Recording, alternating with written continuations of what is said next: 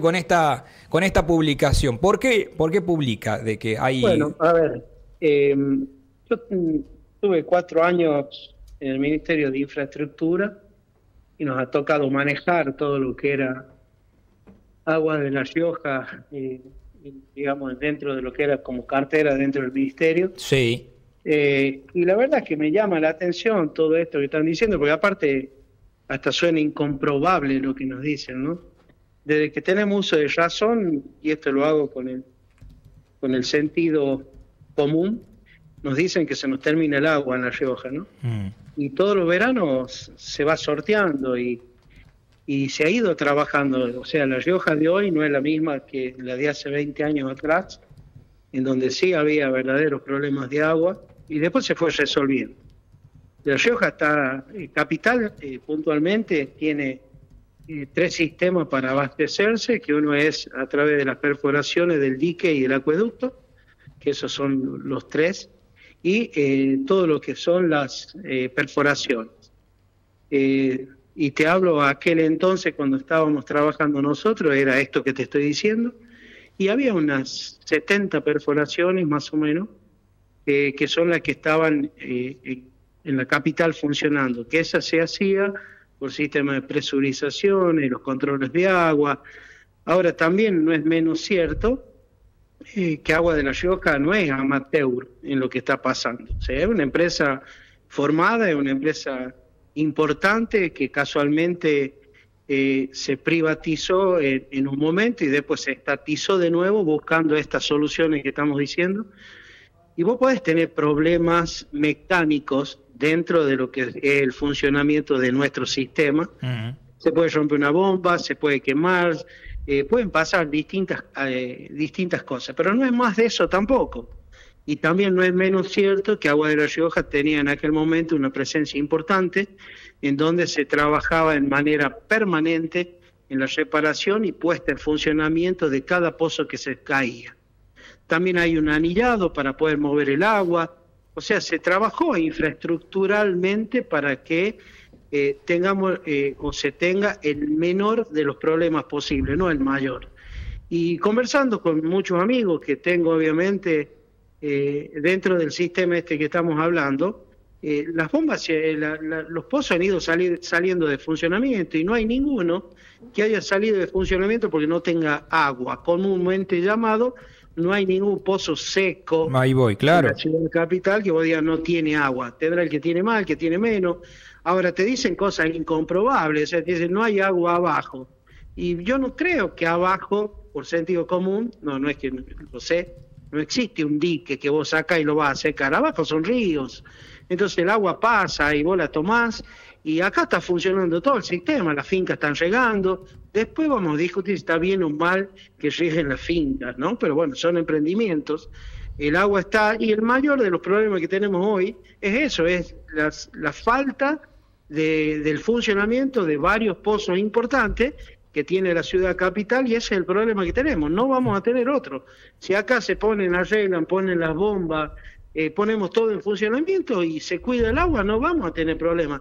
No estoy hablando que no existe el cambio climático, existe todo, o sea, eh, la sequía, yo entiendo todo, todo lo que está pasando, pero de ahí a que nos quedamos sin agua y falta un trecho largo. Mm.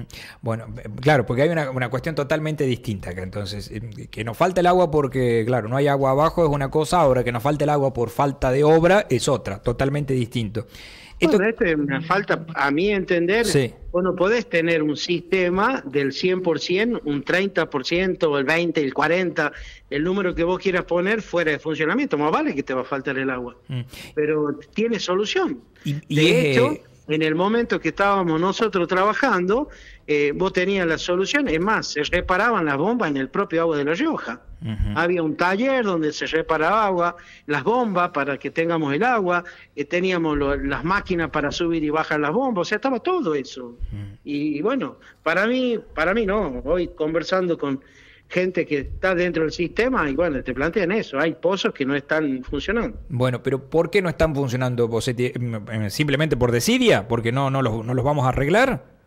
Y a mí me parece que sí, cuando vos tenés una bomba rota y no vais a la arreglás, sin duda que pasa a hacer eso o ponerle lo que vos quieras. Mm. Vos tenés todo un invierno para trabajar. Vuelvo a repetir, Nico, no es que no se puede romper, todo puede pasar. No, obvio, obvio, una, Una, una, disparada en la tensión eléctrica te queman un par de bombas, que de hecho no ha pasado. Mm. Y nosotros, bueno, inmediatamente acudíamos, trabajábamos, se sacaba la bomba, se ponía otra y estábamos dentro del sistema. Ahora, siempre con el cuidado, siempre entendiendo que estamos ante factores climáticos eh, que bueno, que, hay sequía, se entiende todo, pero bueno, estos son perforaciones y sin duda tienen que funcionar. O sea, de última tendría que tener más peligro el otro sistema que este que estamos hablando de bombas, ¿no? Mm. Eh, Bosetti, y eh, ahí usted plantea de un 30 a un 40%.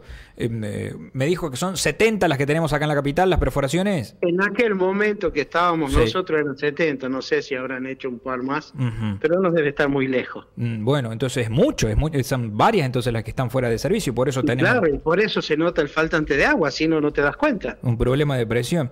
Y, y esto eh, se ve totalmente potenciado cuando llegue, claro, las altas temperaturas, ¿no? Ahí va a ser peor. Sin duda, yo con... A ver, porque vengo escuchando tantas cosas, entonces hay, cosas que no quiero que nos pasen. Nos va, en, en, el verano no, vamos a abrir el pico, no vamos a tener agua y vamos a pensar que es un cambio climático, que no tiene nada que ver, estamos hablando de otra cosa, en este momento de otra cosa. No te estoy diciendo que el año que viene sea diferente, pero bueno, en este momento no es así, en este momento es el mayor problema que tenemos es la falta de pozos dentro de la circulación del sistema de distribución de agua. Mm, sí, y lo que lamentablemente sucede es que tampoco tenemos, no existe un organismo por afuera de Aguas Riojanas que a donde se pueda pedir que lo controle a eso, ¿no? Porque... Bueno, es, casualmente, Aguas de la Rioja es una empresa del Estado eh, que tiene que estar para esto y está para esto. Por eso te decía, no es una empresa amateur, es una empresa formada, tiene gente, tiene todo para funcionar. De hecho, bueno, debería estar funcionando.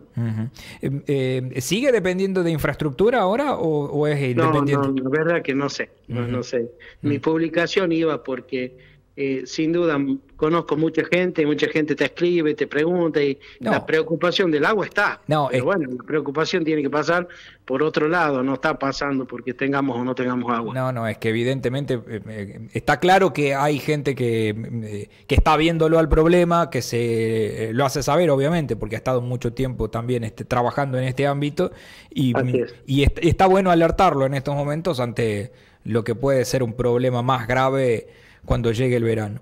No, estaría bueno que se resuelva. ¿eh? Esto se resuelve eh, arreglando los pozos y poniéndolos en funcionamiento. Comúnmente llamado, levantemos los pozos que entren en el sistema. ¿Es, caro eh, arreglar hoy una perforación?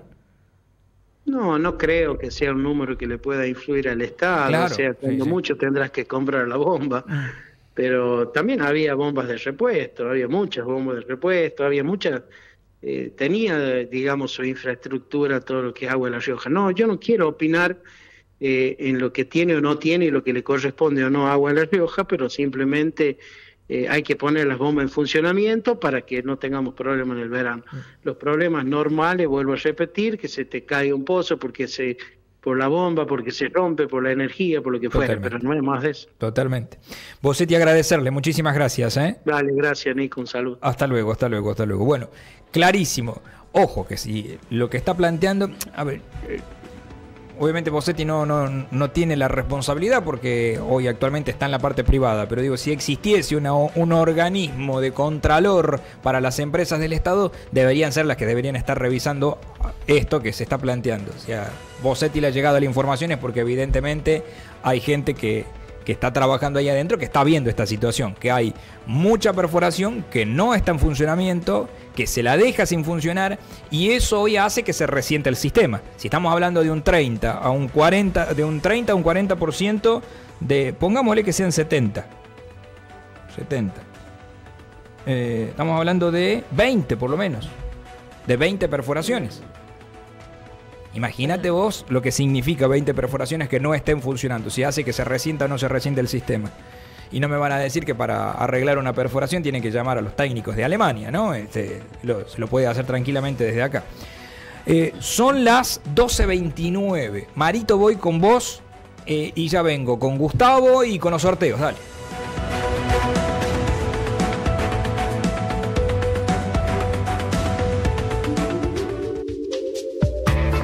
Gracias a Dios somos Fénix.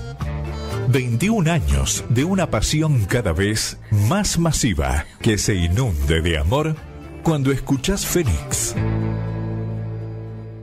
Atención, Laboratorio de Análisis Clínico y Microbiológico Robel SRL en San Nicolás de Bari 348. De lunes a viernes de 7 a 13 horas y de 16 a 20 horas. Teléfono 3801.